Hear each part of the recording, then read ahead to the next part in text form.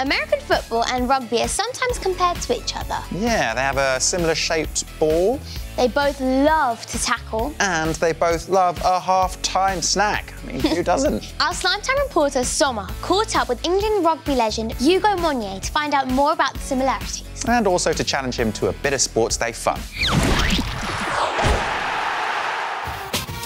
I'm here at Tottenham Hotspur Stadium, where the last two NFL games have been played in London. And I'm joined by rugby superstar and American football fan, Monye! Hey, how you doing? Rugby and American football get compared quite a lot. What are the main differences? In rugby, you have to pass the ball backwards. In NFL, you can throw it forwards. And because we're a lot tougher in rugby, we don't wear pads. Okay then, showing off there.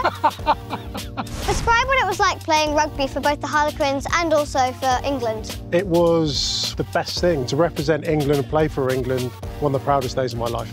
Did you have a pre-game ritual? Before every single game I played, I used to ring my mum in the changing room and she'd say a prayer on the phone with me. Oh, that's so nice. Thank you, I'm a nice guy.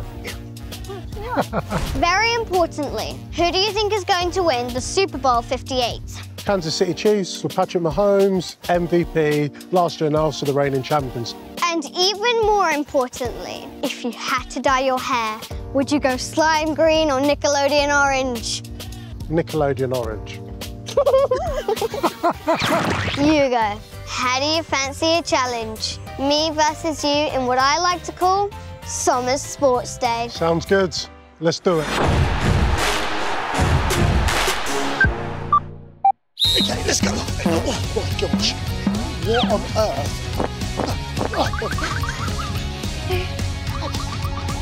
Go Soma, go Soma, go Soma, go Soma, go, go, you go, go. Brian SpongeBob. Well done, Soma. Oh yeah. Smashed it. You were brilliant. I've had a great day. I've had a great day too. Thanks for having yeah, me down thanks for here. being here. Well done. Thank you. S to the O to the M to the A. It's Soma. It's Soma. That looked like a great day. Yes, it did. Such great sports, both of them.